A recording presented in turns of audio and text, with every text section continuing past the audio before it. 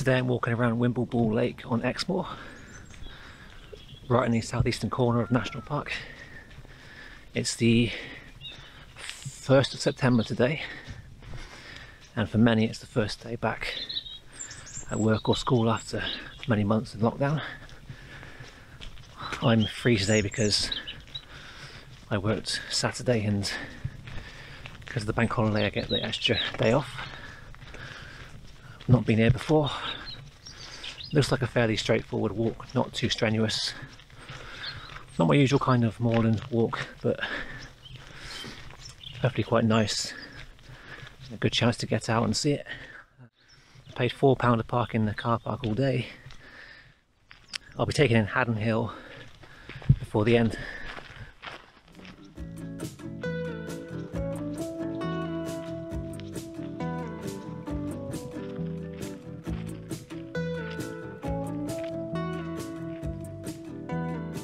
So for the most part there's a permissive footpath that follows the lake around the edge.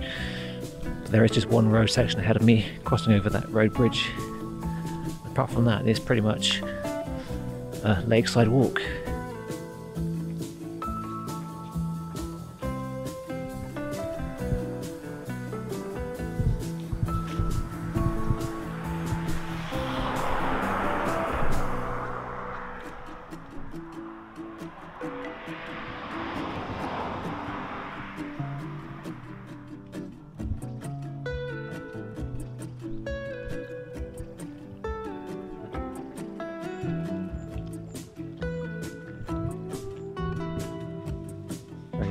Diversion and you're back on the path. So Haddon Hill will be straight ahead in the far distance. That's where I'm heading, but I need to join a quieter road first in order to rejoin the riverside route beyond that crossing.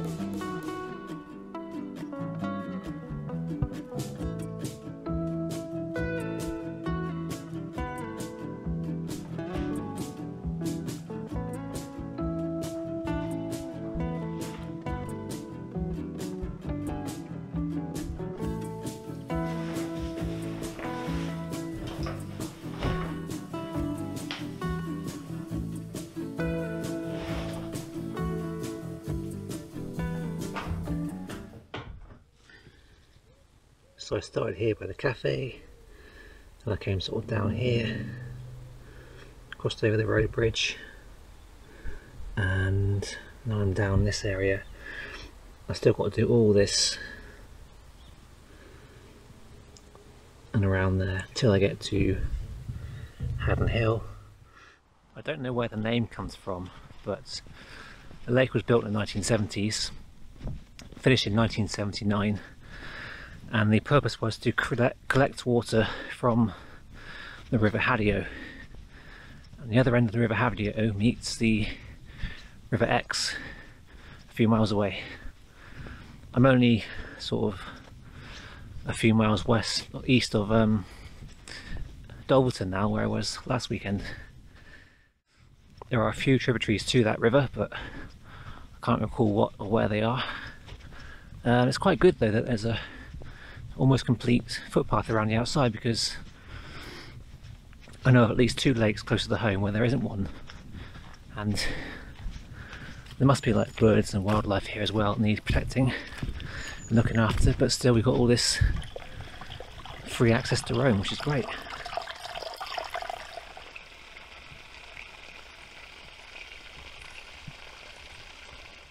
So I started somewhere beyond all those boats you can see here they've got sailing and kayaking and stand-up paddleboarding. Swimming's not allowed. There's quite a lot you can do here.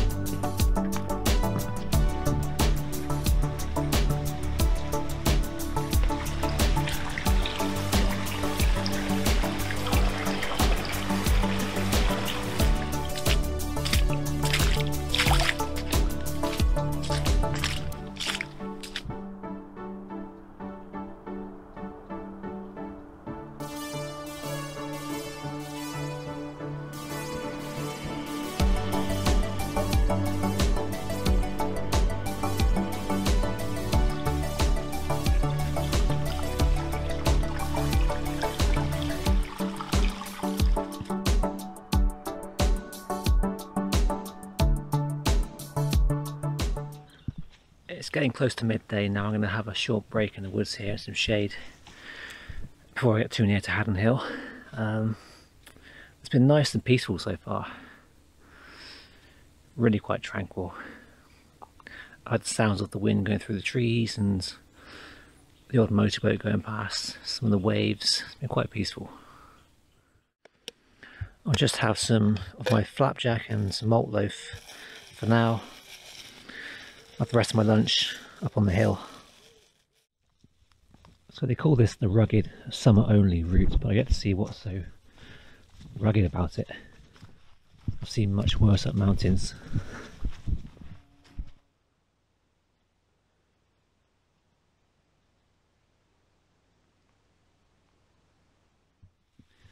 It wasn't too rugged and now we're back on the normal route heading towards the dam in about two miles, but going up Haddon Hill before then.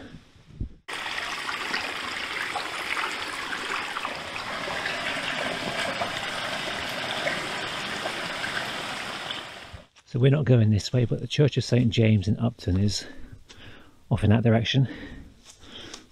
I can just see the tower from here between the trees. I think it's the ruined church, I'm not too sure.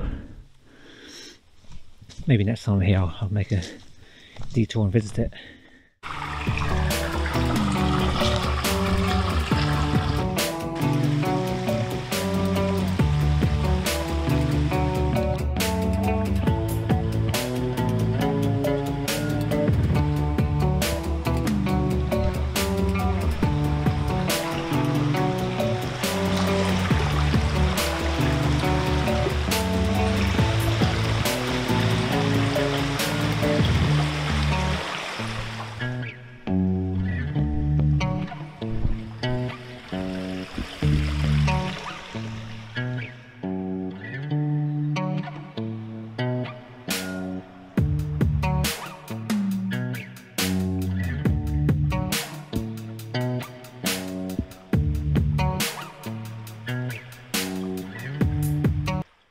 According to GPS on my phone.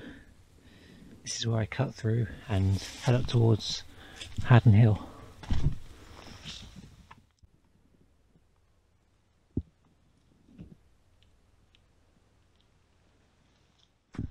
My phone is saying turn right here, but I can't really see too much of a path to be honest.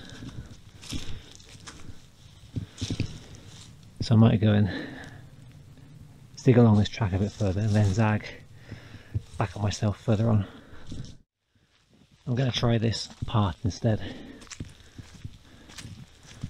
There's no sign for it. It's not on the map, but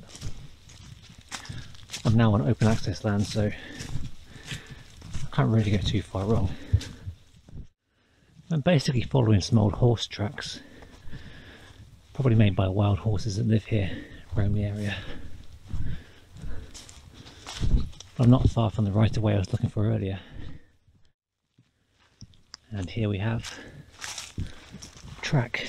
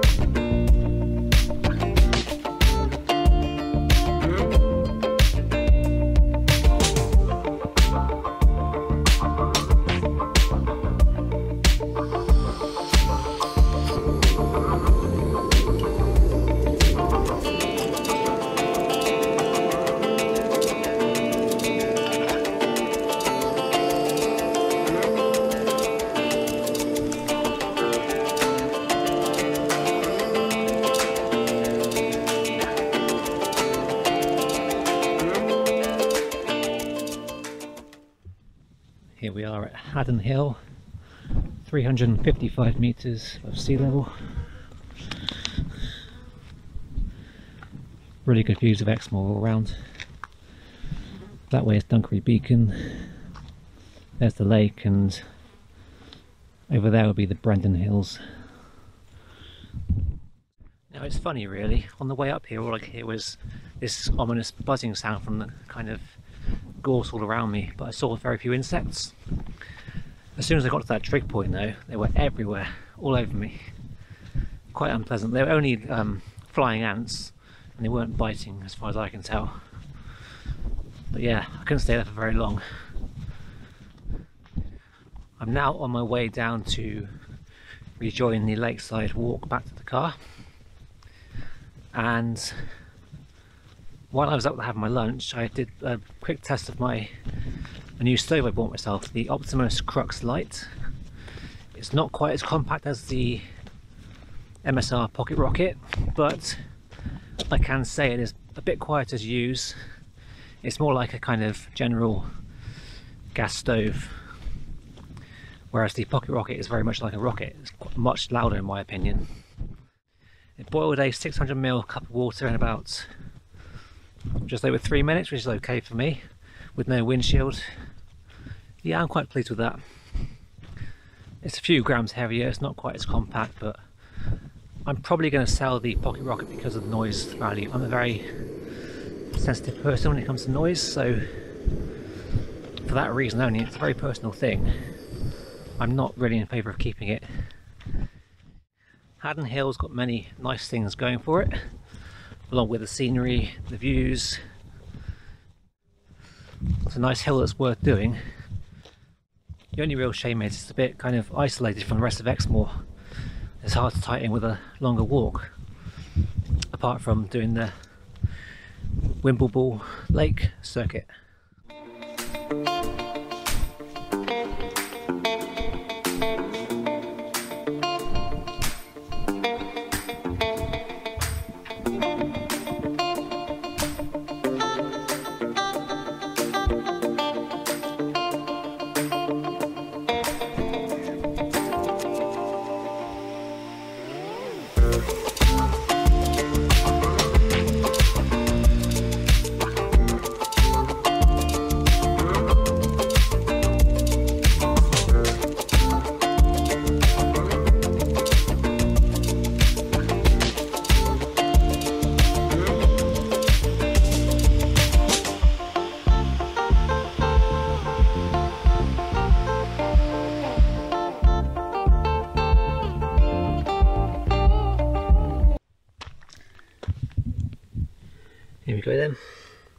First used in 1978.